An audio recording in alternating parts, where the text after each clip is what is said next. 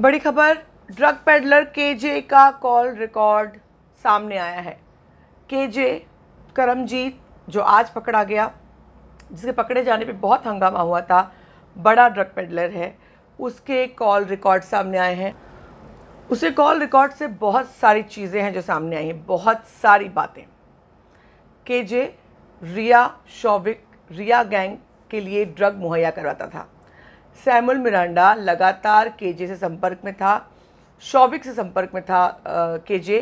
मैं अगर आपको बता दूँ तो 24 मार्च 24 सितंबर से 17 मार्च के बीच में केजे और सैमुल मिरांडा के बीच में बहत्तर मिनट तक बातें हुई थी। सुशांत सिंह राजपूत मामले में एनसीबी को ये सफलता मिली। सात लोगों को पकड़ा है गोवा और मुंबई से। मैं आपको बता दूँ कि आ, इसकी खास बात यह है केजे को पकड़े जाने के बाद एक ड्रग सिंडिकेट का बड़ा मामला सामने आ रहा है, जो एनसीबी ने पहले से कहा था कि ड्रग सिंडिकेट की मेंबर हैं रिया और शौविक।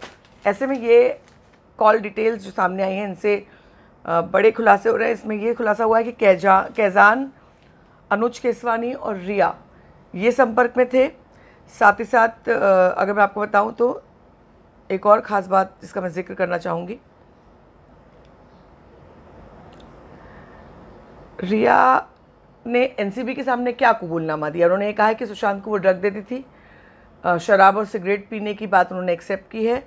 सुशांत के लिए शौविक से ड्रग मंगवाया, ऐसा उन्होंने कहा है।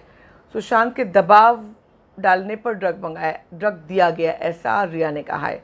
और ख़ुद की ड्रग्स वाली चैट ड्रग वाली चैट मानी है और कहा है कि वो सुशांत के लिए उन्होंने किया था।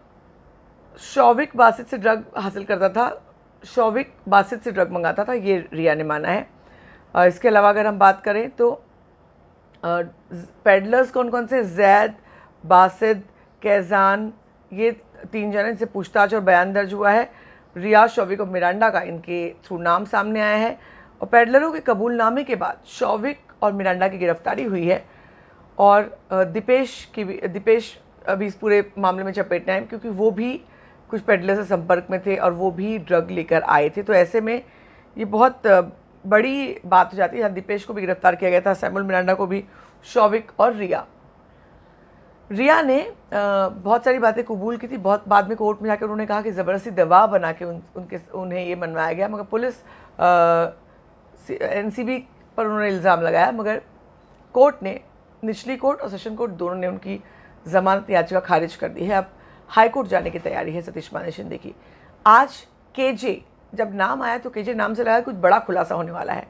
और जब केजे का कॉल डिटेल सामने आया तो इस पर मोहर लग गई कि जो भी बातें कही जा रही थी ड्रग डीलिंग्स की, बड़े नेटवर्क की, वो सब सही है क्योंकि केजे से लगातार संपर्क में थे मिरांडा, जो शौविक के कहने पर टच में आए थे और रिया और सुशांत के लिए ड्रग मंगाया करते थे। क्या कहना चाहेंगे आप? ज़रूर बताइए, बने रहिए मेरे साथ। लगातार खबरों का सिलसिला जारी है। अगर आपने सब्सक्राइब नहीं किया, जल्दी से कर लीजिए, बेल आइकन भी दबा दीजिए। मैं हूँ आपकी होस्ट और दोस्त सरिता।